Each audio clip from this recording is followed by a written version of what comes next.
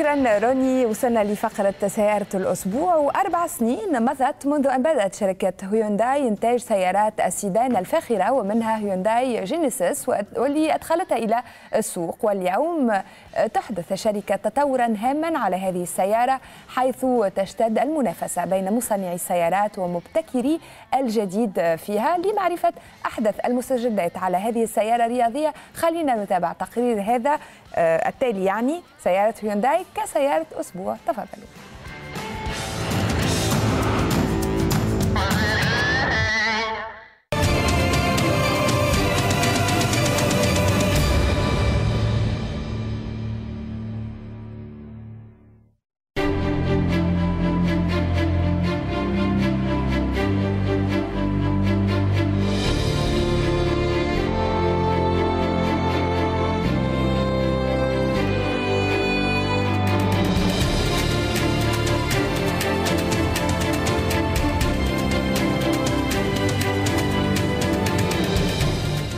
السيارة اللي نتكلم عليها النهاردة هي من شريحة السيارات الفاخرة لهيونداي وهي السيارة جينيسيس جينيسيس 3.8 لتر حوالي 290 حصان وهي بتنافس في الشريحة المتوسطة أو فوق المتوسطة من السيارات الفاخرة. من أول وهلة بنلاحظ في السيارة أن في شكلها الخارجي بيجمع بين الإنسيابية والشكل الرياضي أما بالنسبة للتصميم الداخلي للسيارة فهو برضو بيجمع ما بين الفخامة والذوق الرفيع في كل شيء يخص تفاصيل تصميم السيارة من الداخل.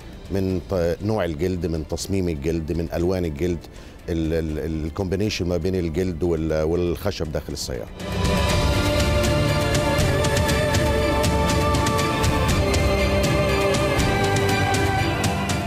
في كل تفصيلة في الشكل الخارجي للسيارة بنلاقيه بيدل على الانسيابية والشكل الرياضي. على سبيل المثال في ال facelift الأخير اللي حصل في الجينيسيس اتعمل complete work out بالنسبة لل head lamps ال LED light أضيف لل center بتاع ال head lamps ال fog lights مكان ال fog lights حتى ال front camera كان مكانها واضح في السيارة دلوقتي اتعملت بطريقة بحيث إن هي integrated مع ال front grille نقدر نقول إن شكل السيارة بقى أكثر جاذبية وإداها فرصة أكتر إنها تكون كمان أكثر منافسة في الشريحة اللي هي بتنافس فيها. بالنسبة للتصميم الداخلي في السيارة بتدل كل تفصيلة فيها على الفخامة والذوق الرفيع. السيارة الجينيسيس فيها أكتر ما يحتاجه أي شخص بيبحث عن الرفاهية والفخامة في سياره. العربية فيها air suspension، فيها smart cruise control، فيها DIS اللي هو driver information system اللي هو فيه بيتحكم في كل إمكانيات العربية أو كل ال system موجود في العربية عن طريق الشاشة بال touch قدامه فيها ال navigation فيها 8 air bags فيها audio system Lexicon اللي هو ال brand اللي بيستخدم في سيارات الرولز رويس.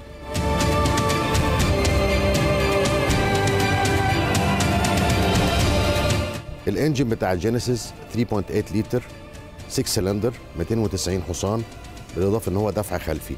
أما بالنسبة للترانسميشن فهو 8 سرعات وده بيوفر انسيابيه شديدة في التنقل ما بين السرعات.